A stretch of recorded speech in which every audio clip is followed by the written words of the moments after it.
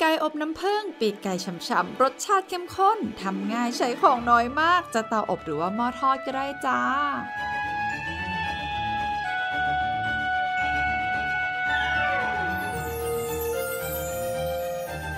มาเริ่มทำกันเลยค่ะ เตรียมชามผสมนะคะ ใส่น้ำผึ้ง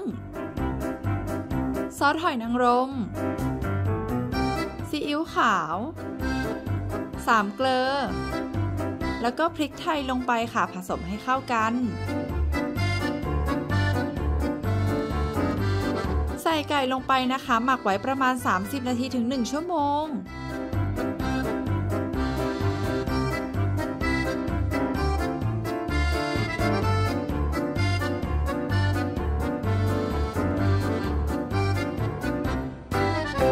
ใส่เตาอบ 10 นาทีนะคะ ไฟ 180 องศา แล้วก็ค่อยนำออกมากลับด้านแล้วก็อบต่ออีก 8-10 นาที เช็คสีตามชอบได้เลยจ้า